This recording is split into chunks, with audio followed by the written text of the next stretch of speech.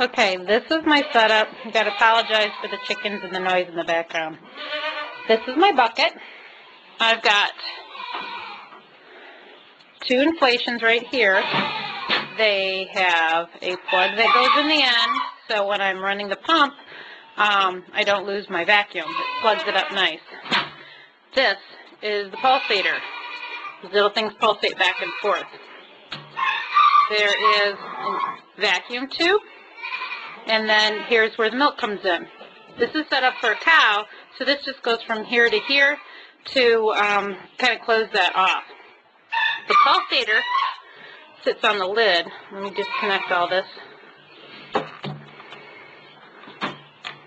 So you can see how this goes together. Everything disconnects off the back. The pulsator sits on a little valve right here. And that's the inside of the bucket with the rubber gasket.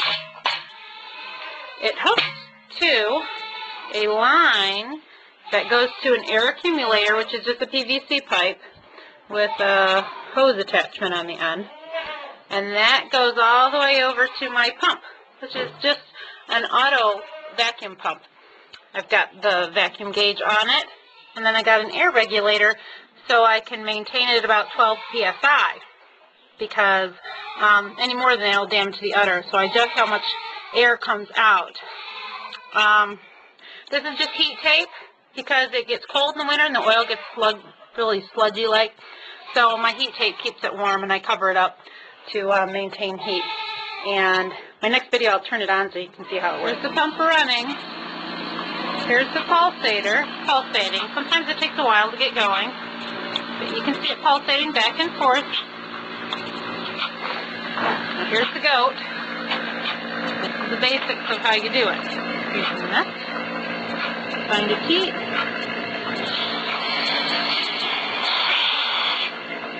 And on it goes. Kind of hard to do one-handed. So we'll try this again so you can see. You don't want to wait too long because you lose you lose vacuum. And that's pretty much it. You can then see if you've got a clear line, the milk going through.